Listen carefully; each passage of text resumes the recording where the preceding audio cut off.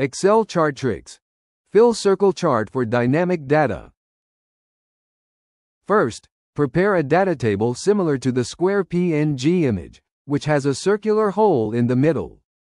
Next, highlight the data table from C10 to D12, then go to the Insert tab. Under the Charts section, select 2D column and choose the 100% stacked column option.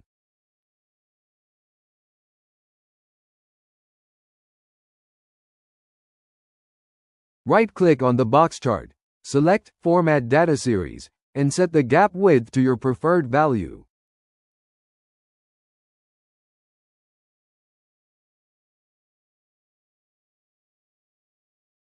Next, copy the PNG and paste it onto the top of the box chart using Ctrl plus C and Ctrl plus V. Right-click the first box chart, Select Format Data Point, then set the color and soft edges to your preference.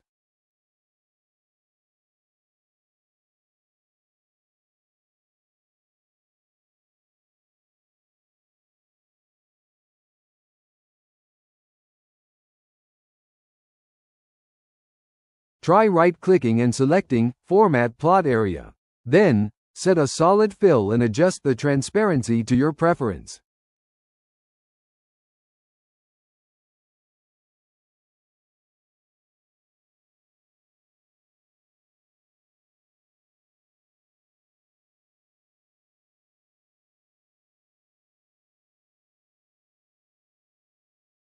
Finally, right-click on the box chart and select Change Series Chart Type.